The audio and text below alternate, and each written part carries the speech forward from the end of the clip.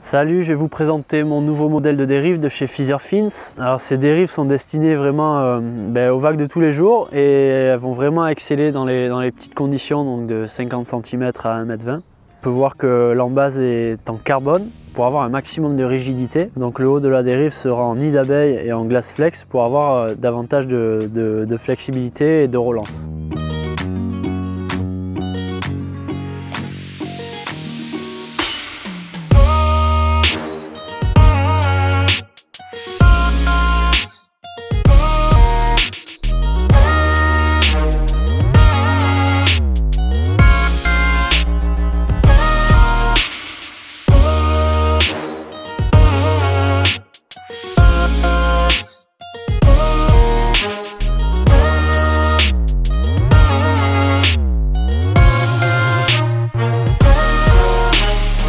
Donc la particularité de ces dérives, c'est que les deux latérales en fait présentent un, rake donc très peu prononcé, c'est-à-dire qu'elles sont très peu penchées vers l'arrière.